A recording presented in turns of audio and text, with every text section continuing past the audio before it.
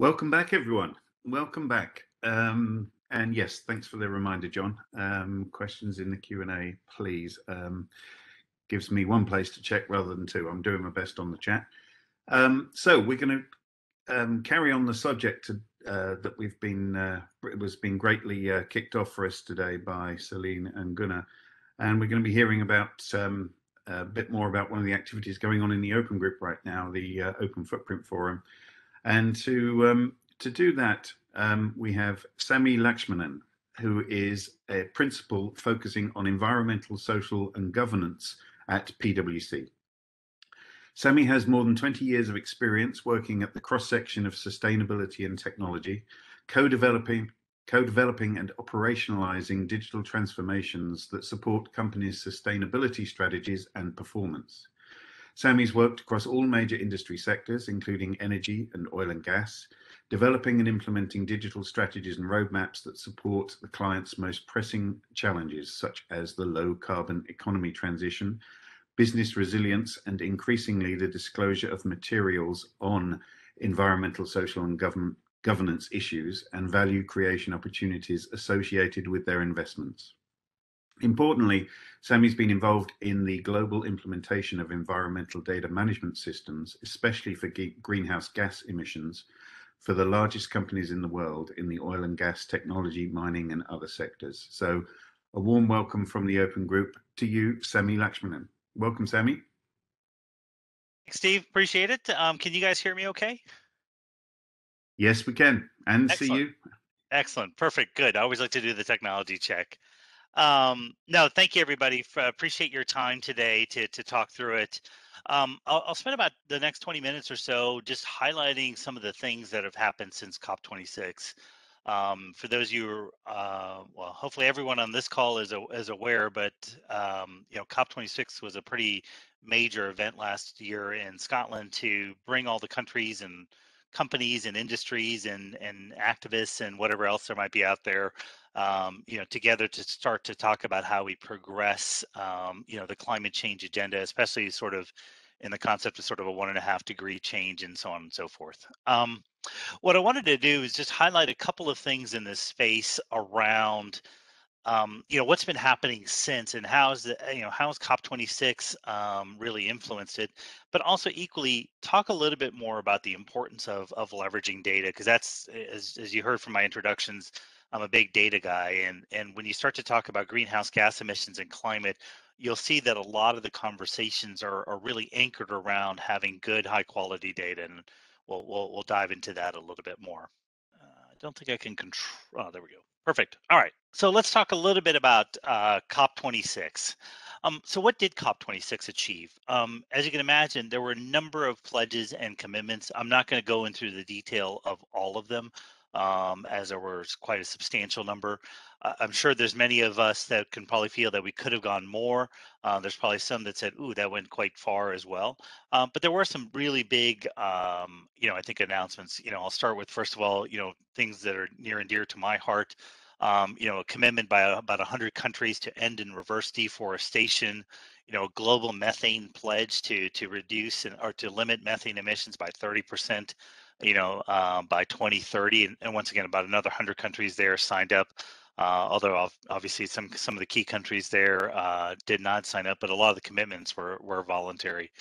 A number of net zero commitments um, by various organizations, as well as achieving a number of climate targets. Um, some of the probably the the the the, the more um, uh, you know specific things you know you've seen for example the the the commitment to to phase out um, you know unabated coal power or phase down unabated coal power phase out you know inefficient you know fossil fuel subsidies although there hasn't been any specific timelines but once again these were pledges and commitments um, equally of importance was the ability to to trade carbon emission credits um, you know article 6 as you may have seen um, that people have the ability now to to to you know there's now a framework that's been sort of agreed um, for trading these credits across you know country borders to to help um, you know meet some of these climate tar- targets by buying offset credits.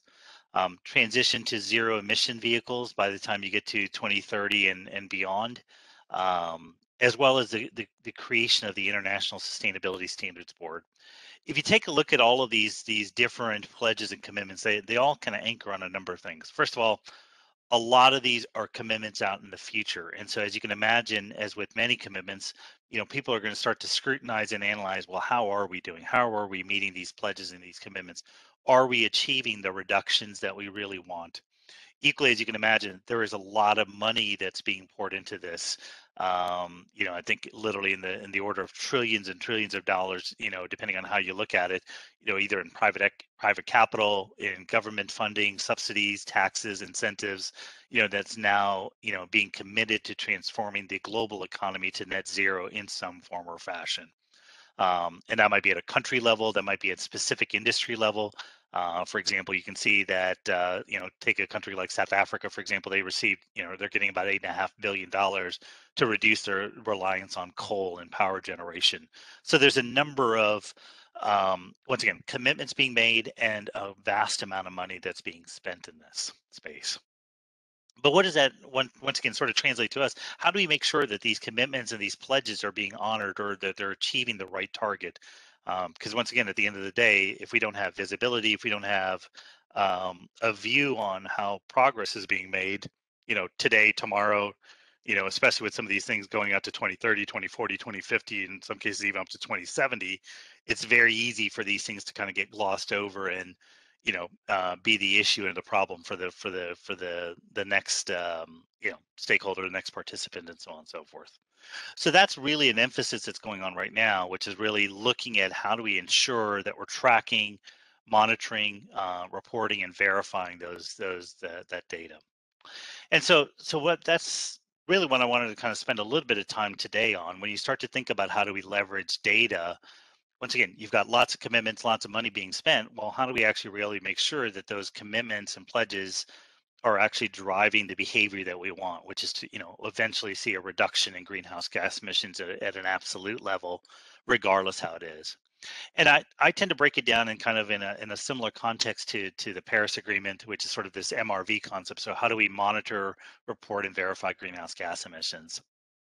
And the reason I do that is when you start to think about data and when you start to think about these commitments and you start to think about the money that's being spent, you're really asking a few questions here. So do we do we have a view on what, how, what our emissions are right now? Um, you know, how accurate is it? How uncertain is it? Um, you know, and do we have a clear view at a granular level that that we've got the right view on emissions? How do we report our emissions to all the interested stakeholders? I'll talk a little bit more about that today, um, but there's a lot of people that's interested around, you know, the impact of emissions above and beyond what we've seen historically in terms of just regulators.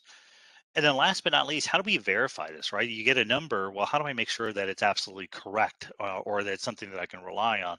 Once again, if I'm talking about trillions of dollars, millions of dollars being spent, how do I make sure that those those those emissions and those offsets are really credible? Okay.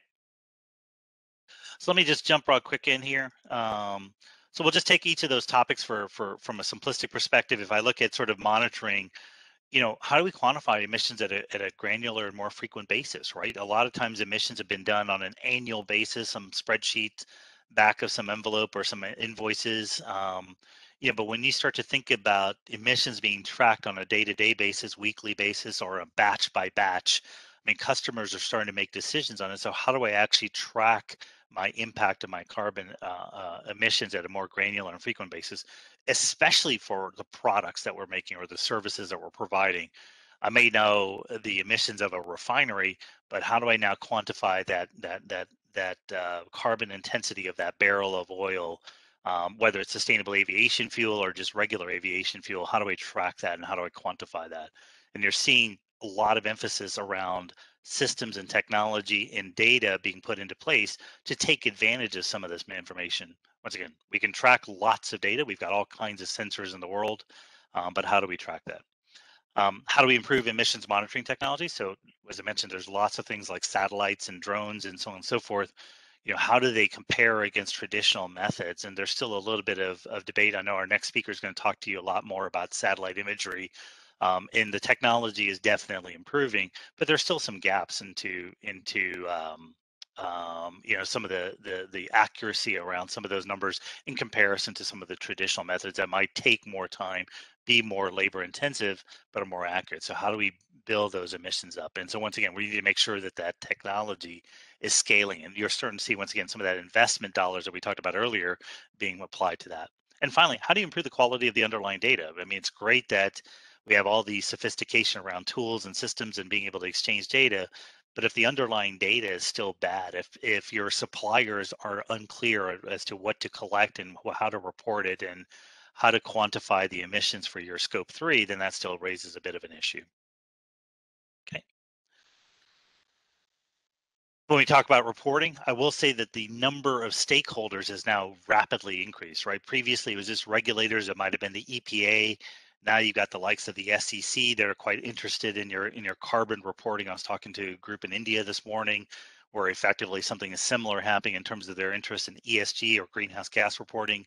Your investors, your lenders, um, they themselves are getting more and more savvy around what scope one, scope two, scope three emissions means. Your customers, um, they are desperate to want to understand the impact of your products because that's now making that's that's then helping their uh, decision making process. Equally, how do we import the right information into into the right frameworks? Right, there's a number of different frameworks that are out there, and then finally, how do we share that appropriate data in terms of the scope three emissions? So once again, continues to be an alphabet soup of these reporting needs, um, but these are some of the challenges that are questions that are being asked out there at the moment. Finally, last but not least, I will talk about a little bit around verification. You know, how are these emissions being verified and by who? It's great that we have some numbers that are published, but are they really real? Are they really been verified by a third party? Is there reasonable assurance around these?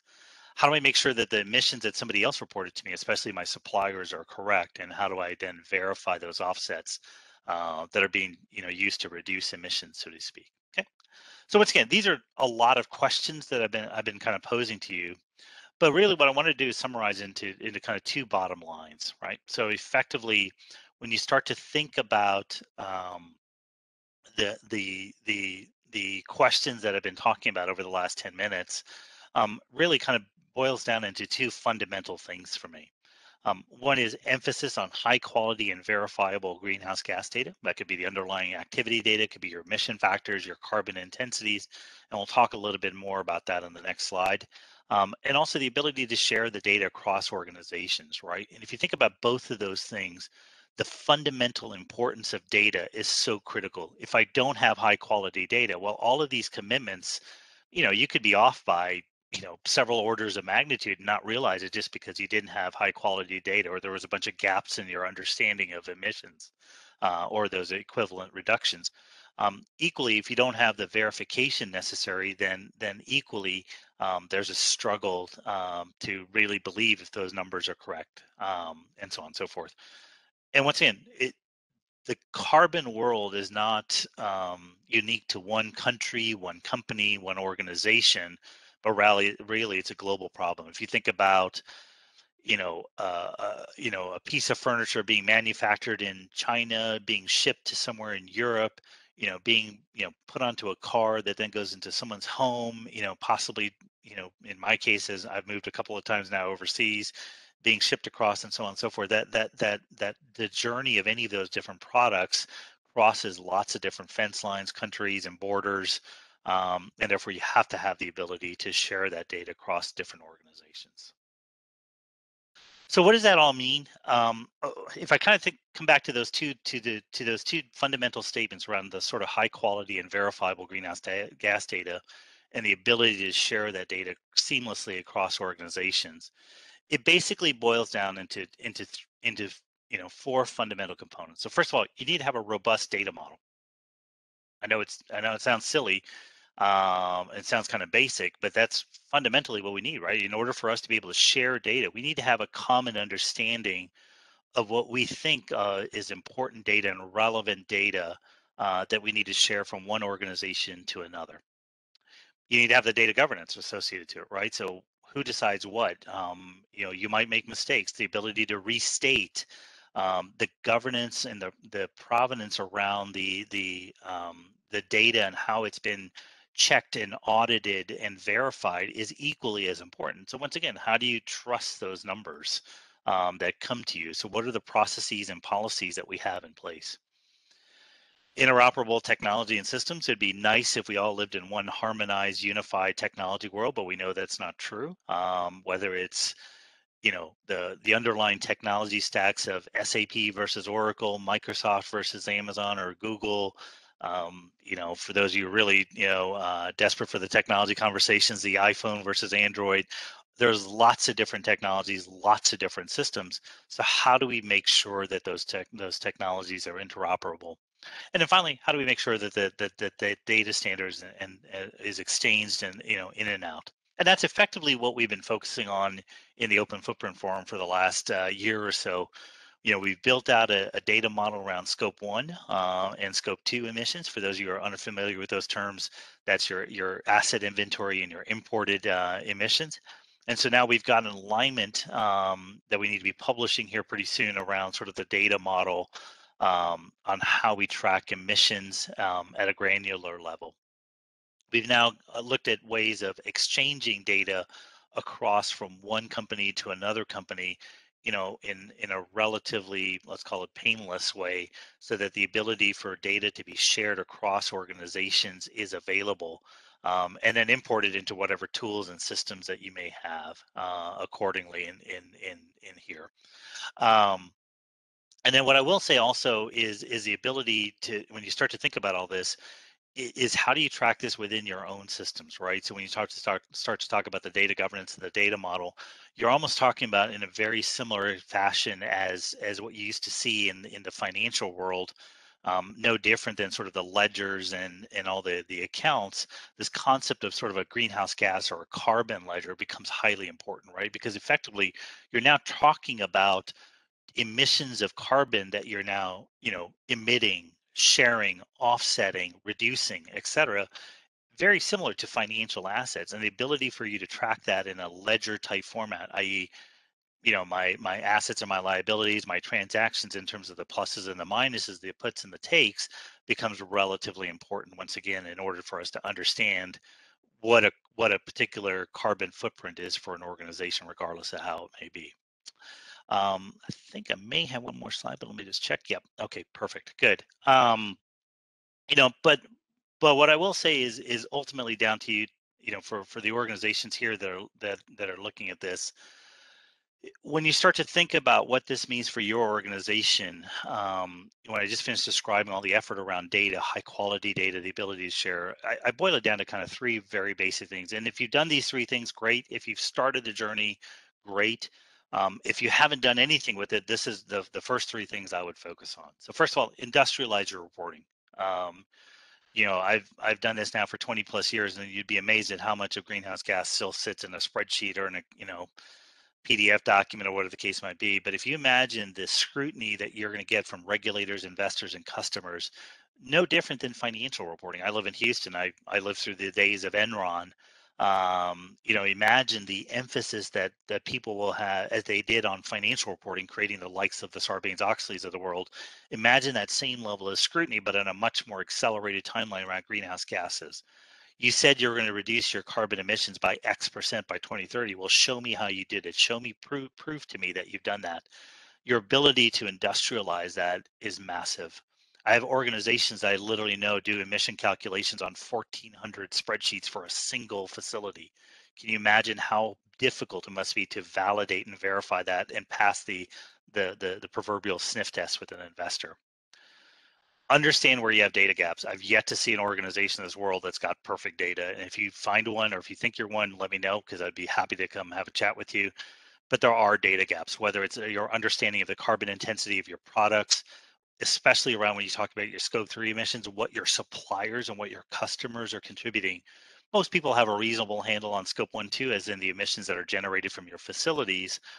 But when it comes to your customers and your and your suppliers, that's a little bit of a gray area. And what we've often found with our organizations is actually just bad data, right? If you think about the sheer impact of scope three emissions, in some cases it might be, you know, 70, 80% of your total carbon footprint if you have pretty big data gaps as in you actually don't know what your suppliers are providing and how carbon intensive those products are then you have no idea how carbon intensive your products are and, and that's a very simple aspect And then finally, you don't have to do this by yourself. There are technology platforms, data exchanges that do help you simplify and automate this.